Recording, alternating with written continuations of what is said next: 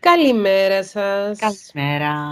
Αριστοτρίτη, 15 Μαρτίου 2022. Εδώ είμαστε ε, μεσούσεις της Ανοίξεως, με υψηλές θερμοκρασίες. Πολύ, πολύ, πολύ. με αγκαλιά με τη σόμπα μας και τα λοιπά και τα Μου στέλνει Αριστονίκη μήνυμα, τι κάνεις, εμείς παγώσαμε, έχει τέσσερις βαθμούς, σας λέω εδώ έχει ένα. Ναι.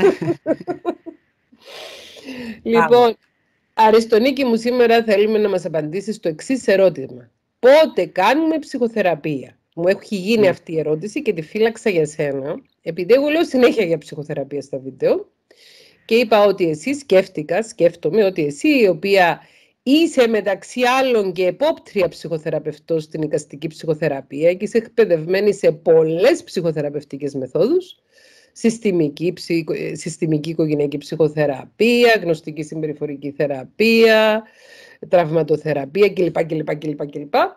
Είπαμε ότι η αριστονίκη μας είναι multi...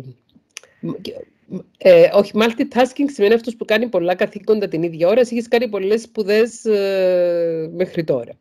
Λοιπόν, και, με, και οι περισσότερες εκπαιδεύσεις που έχει κάνει, που έχεις κάνει, πέραν των μεταπτυχιακών κτλ., είναι στη ψυχοθεραπεία.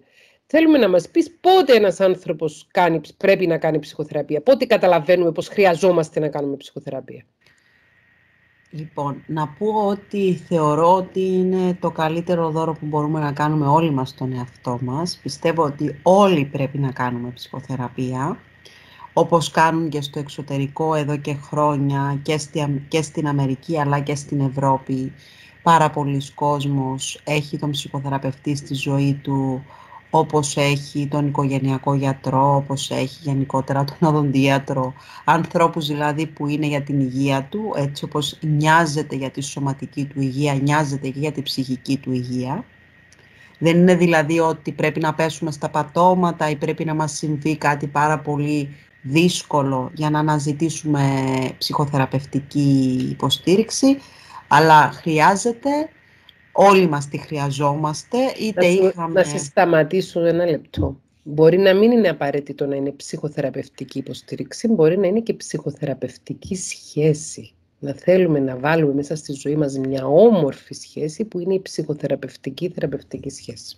Συγγνώμη που σε διακόψα. Ε, και εντάξει, τα αιτήματα ποικίλουν ανάλογα με, το, με τη φάση που περνάει ο καθένας, με, τη, με τα γεγονότα που, έχει, που έχουν συμβεί στη ζωή του, α, με το μεγάλωμά του και γενικότερα ενδεχόμενες ε, ευαλωτότητες που μπορεί να έχει ο καθένας μας σε σχέση με την κληρονομικότητά του, την αθεκτικότητά του απέναντι σε δύσκολα γεγονότα ζωής. Ε, αυτό δηλαδή είναι μια δική μου γενική τοποθέτηση απέναντι στο ότι η ψυχοθεραπεία είναι απαραίτητη για όλους μας, σε όλους μας, ε, χωρίς να σημαίνει ότι είναι για λίγους, είναι για τους αδύνατους, είναι για αυτούς που αν θέλεις δεν τα καταφέρνουν και τόσο καλά. Πιστεύω ότι κάθε άνθρωπος που θέλει να τα καταφέρει χρειάζεται υποστήριξη και χρειάζεται να έχει αυτή την όμορφη σχέση, αυτό το ταξίδι με έναν άνθρωπο που είναι ο συνοδοιπόρος του και είναι ο ψυχοθεραπευτής του, που μπορεί να το συντροφεύει στο μεγάλωμά του.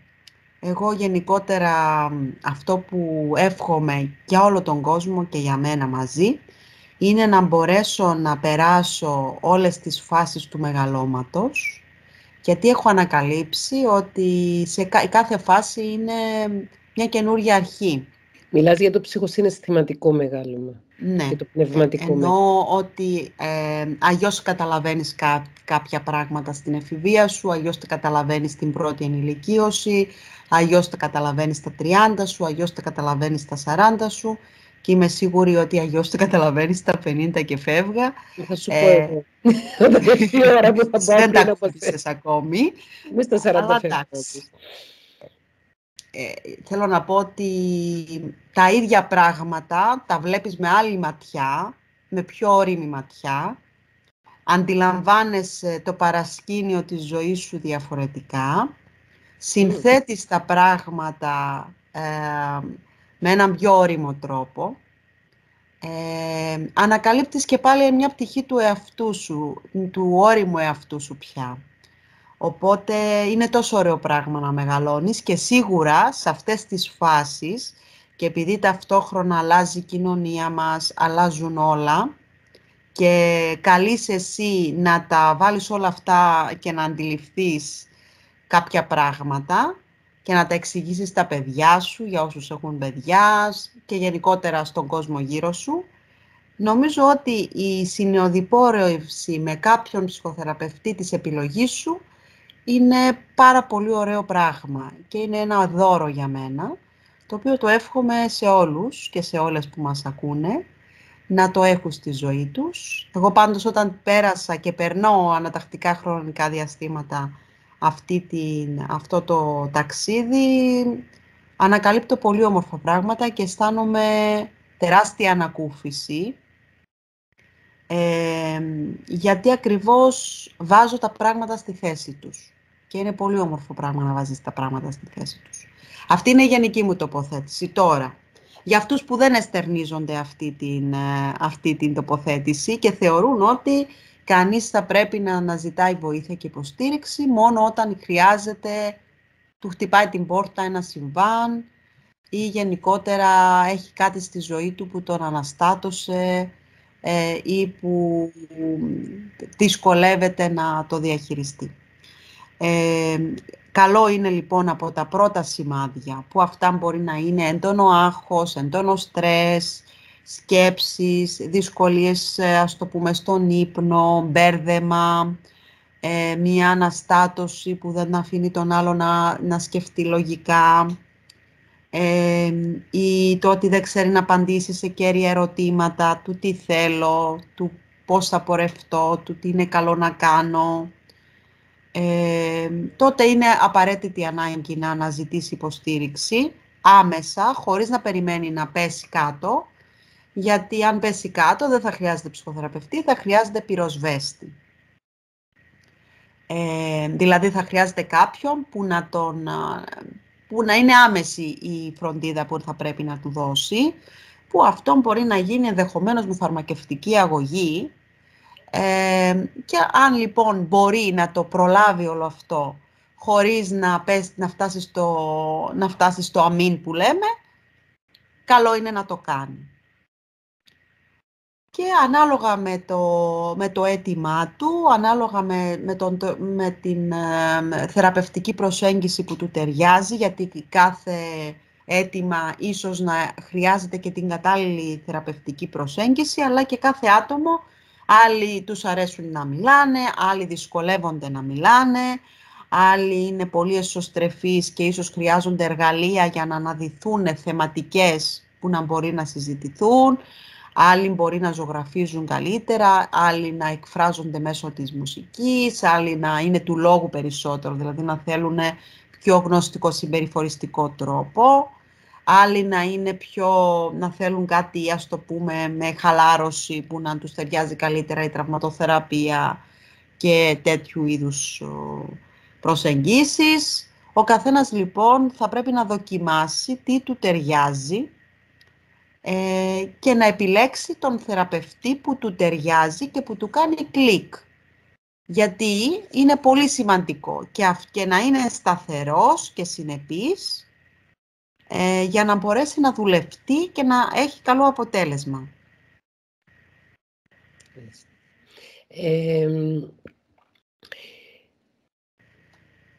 αρκετοί άνθρωποι ε, μπαίνουν στη διαδικασία να σκεφτούν για το αν χρειάζονται ψυχοθεραπεία όταν έχουν συμπτώματα αχωδών διαταραχών, άγχους, ε, κρίσεων πανικού και καταθλιπτικά συμπτώματα. Δηλαδή, όταν η, η, λειτουργικότητα τους επηρεάζεται άμεσα από ψυχολογικά συμπτώματα. Και πολλές φορές λαμβάνω email, στο οποία μου λένε να πάω πρώτα στο ψυχολόγο, να πάω πρώτα στο ψυχίατρο, πώς να το κάνω. Δηλαδή, γιατί μιλάμε για κάποιες ψυχικές διαταραχές, οι οποίες ενδεχομένως να χρειάζονται και φαρμακευτική υποστήριξη παράλληλα. Ποια είναι η γνώμη σου; Εγώ συνήθως λέω στον κόσμο να πάνε πρώτα στο ψυχολόγο, αλλά σε έναν ψυχολόγο ο οποίος να είναι ανοιχτός στη ψυχιατρική, δηλαδή να συνεργάζεται με ψυχιάτρους, δηλαδή να, να μην απορρίπτει τη ψυχιατρική Εγώ θεωρώ ότι χέρι-χέρι η ψυχοθεραπεία και η ψυχιατρική, η κλινική ψυχολογία και η ψυχιατρική περπατάνε για να βοηθήσουν τους ανθρώπους, τους θεραπευόμενους, και αυτός είναι ο μεγαλύτερος στόχος. Εσύ τι λες συνήθως, να πάμε πρώτα στο ψυχίατρο ή πρώτα στο ψυχολόγο; Ε, θεωρώ ότι είναι καλό να πάνε πρώτα στο ψυχολόγο, να κάνουμε μια διευρευνητική συνεδρία για να δουν πιθανούς λόγους και αιτίες, να πάρει το ιστορικό και να δει και αν θεωρήσει ότι χρειάζεται παραπομπή σε ψυχίατρο και είναι με τη σύμφωνη γνώμη του θεραπευόμενου, τότε να παραπεμφθεί στο ψυχίατρο και μαζί συνεργατικά να βοηθήσουν το άτομο αυτό να βρει το δρόμο του. Συμφωνώ ε, μαζί σου και ναι. λυπάμαι να διαβάζω κάποια σχόλια κάτω από τα βίντεο. Εντάξει, δεν μπορούμε να ξέρουμε τα σχόλια ακριβώς πώς έγιναν κάτι που αναφέρω, αλλά υπάρχουν κάποιες αναφορές ότι ίσως κάποιοι θεραπευτές είναι εναντίον της, ε, των, της ε, ταυτόχρονης χρήσης των ωφελιών της ψυχιατρικής. Ε, εγώ είμαι πολύ υπέρ. Δηλαδή θεωρώ ότι μπορούμε να πάρουμε τα καλύτερα και από τους δύο κόσμους και να συνδυαστικά να έχουμε την καλύτερη αντιμετώπιση. βοηθητική. Πάντα η συνεργασία και όσοι απορρίπτουν... Όπως επίσης και από την άλλη ακούω ότι κάποιοι ψυχίατροι απορρίπτουν την ψυχοθεραπεία και λένε δεν χρειάζεσαι το ψυχόλογο, θα πάρεις μόνο φάρμακα. Ναι, υπάρχουν περιπτώσεις που μπορεί να πούνε «Α, τώρα δεν είσαι σε θέση να κάνεις ψυχοθεραπεία» ή «Αυτό δεν βοηθάει, δεν, δεν θα σε βοηθήσει η ψυχοθεραπεία». Οπότε πάρε μόνο τα φάρμακα. Επειδή ρωτάει και ο κόσμος, πώς ξέρω ότι έχω, έχω βρει τον κατάλληλο ψυχίατρο, τον κατάλληλο ψυχοθεραπευτή, τον κατάλληλο ψυχολόγο. Για μένα θα έλεγα εγώ ότι ένα κριτήριο είναι κατά πόσον ο ειδικός στον οποίο απευθύνεσαι είναι ανοιχτός στο να συνεργαστεί και με άλλους ειδικούς. Μπράβο. Ναι. Δηλαδή, ο ψυχίατρος θα συνεργαζόταν με ένα ψυχολόγο, ο ψυχολόγος θα συνεργαζόταν με ένα ψυχίατρο. Είναι πολύ σημαντικό να είμαστε ανοιχτοί, να είμαστε διοντολογικά σωστοί να, να κρατούμε το απόρριτο, να κρατούμε τη διοντολογία του επαγγέλματος υψηλά, για να δίνουμε υψηλού επίπεδου υπηρεσίες ε, στους θεραπευόμενους μας. Όλα τα μετερίζια ε, είναι πολύ σημαντικά, τα, τα, τέλος πάντων και το μετερίζει της ψυχολογίας και το μετερίζει της ψυχιατρικής, είναι πολύ σημαντικά και επιστημονικά. Οπότε η συνεργασία πάντοτε, οι διεπιστημονικές ομάδες γενικότερα είναι ό,τι καλύτερο μπορεί να, να συμβεί σε μία σχέση μεταξύ θεραπευόμενου και θεραπευτών. Ναι, ναι, και πολλές φορές μπορεί ο ψυχολόγος να συνεργαστεί και με τον ενδοκρινολόγο του θεραπευόμενου. Ακριβώς, και με τον παιδονευρολόγο, ναι, και με τον ναι, ναι. νευρολόγο, και με τον λογοθεραπευτή, και με τον κοινωνικό λειτουργό, με παρεμφερείς ειδικότητες ε, που βλέπουν από τη δική τους σκοπιά το θεραπευόμενο. Ε, και είναι πολύ σημαντική να είμαστε ανοιχτοί, συνεργάσιμοι και ταπεινοί γιατί πολλές φορές το βλέπουμε αυτό, ε, να παίρνουν έτσι ή λόγω εμπειρίας ή λόγω, ή λόγω ας το πούμε θέσεις και να λένε έλα μωρέ τι θα μου πει τώρα ο ψυχολόγος, έλα μωρέ τι θα μου πει εκείνος, έλα μωρέ τι θα μου πει ο άλλος. Είναι λάθος αυτό. Όλοι έχουν κάτι να πούνε. Ε, και από τη στιγμή που είναι επιλογή του θεραπευόμενου, είναι σεβαστή, απόλυτα σεβαστή και χρειάζεται άριχτη συνεργασία όλων των μερών μεταξύ τους. Οπότε το, το πρώτο είναι το να είναι ο άλλος προσφυλής, ανοιχτός, συνεργάσιμος, όχι απορριπτικός, όχι συκοφαντικός, όχι επιρρυπτικός, πολύ σημαντικό. Και το άλλο είναι και το στυλ, ε, η προσωπικότητα του θεραπευτή. Που αυτό είναι κλικ. Δηλαδή, αν σου ταιριάζει, θα το καταλάβεις. Αν δεν σου ταιριάζει και, σε, και ένιωσες άφολα, θα το καταλάβεις. Και είναι πολύ ανθρώπινο να γίνει και αυτό ε, ή θεραπευτική προσέγγιση του άλλου. Μπορεί να, να μην σου ταιριάζει και αυτό είναι σεβαστό. Ε, οπότε ο καθής επιλέγει τον θεραπευτή που του, ε, που του αρμόζει, που του ταιριάζει και από εκεί και πέρα ε, ξεκινάει ένα όμορφο ταξίδι το οποίο είναι καλό με συνέπεια τακτικότητα και έτσι ε, άνοιγμα και διάθεση, καλή διάθεση, να, πορευτεί, να πορευτούν μαζί και σίγουρα ο δρόμος θα είναι πολύ καλύτερος και πολύ πιο έτσι ισορροπημένα όλα τα πράγματα που θα έρθουν, παρά κανείς να πορεύεται μόνος του, να ταλαιπωρείται μόνος του, να μην ξέρει έτσι να μπερδεύεται σε διάφορα Πάντως, πράγματα. μία ε, ρίση ε, νομίζω στο Carl Rogers που αποδίδεται, αλλά δεν είμαι σίγουρη, ότι λέει η ψυχοθεραπεία είναι μια πληρωμένη φιλία.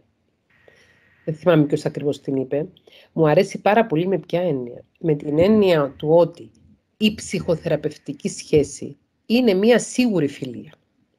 Δηλαδή, ξέρεις σίγουρα, και μιλάω τώρα από προσωπική πείρα ως θεραπευόμενη, ξέρεις σίγουρα ότι την ώρα που θα πας στο θεραπευτή σου, στη θεραπεύτρια σου, στο ψυχολόγο σου, στη ψυχολόγο σου, εκείνη την ώρα, είσαι σίγουρος και το νιώθεις και το βιώνεις και είναι ανακουφιστικό και θεραπευτικό από μόνο του ότι αυτός ο άνθρωπος είναι εκεί για σένα και όλη του η έγνοια είναι πώς να σε ακούσει, πώς να σε καταλάβει, πώς να σε βοηθήσει, πώς να σε κινητοποιήσει, πώς να σε, πώς να σε βοηθήσει να εξηγιάνεις τη ζωή σου ουσιαστικά.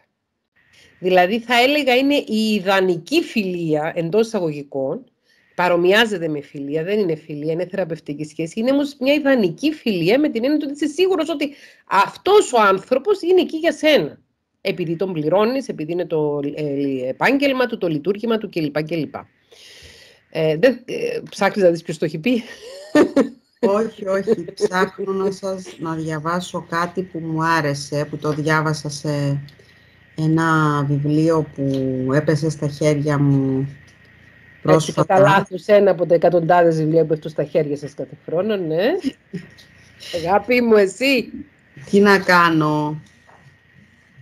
Ε, Διαβάζεις και για μας; Διαβάζω... Α, άλλα να σου πω, την επόμενη Αριστοτρίτη μπορείς να μας κάνεις μια λίστα βιβλίων ε, ψυχοεκπαίδευσης που να συστήσουμε. Φυσικά, εννοείται, εννοείται, θα σας κάνω.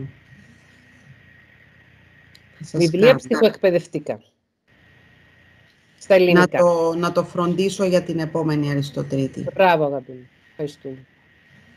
Γιατί το ρωτάει ο κόσμος. Εγώ δεν θυμάμαι, εγώ δεν διαβάζω και πολύ. Ε, και κυρίως δεν διαβάζω τα ελληνικά βιβλία. Και δεν θυμάμαι και πολύ για να τα λέω. Μου λένε να μας συστήσεις βιβλία. Ε, λέω η καταλληλότερη είναι η δόκτωρα Αριστονίκη Θεοδοσίου Παύλα Τριφωνίδου. Είναι κάποια βιβλία που ε, εγώ ας πούμε τα διαβάζω στα... τα, τα έχω πάρει στα αγγλικά και μετά ανακαλύπτω ότι έχουν βγει και στα ελληνικά. Πειράζει. τα παίρνω και στα ελληνικά. Α, καλά.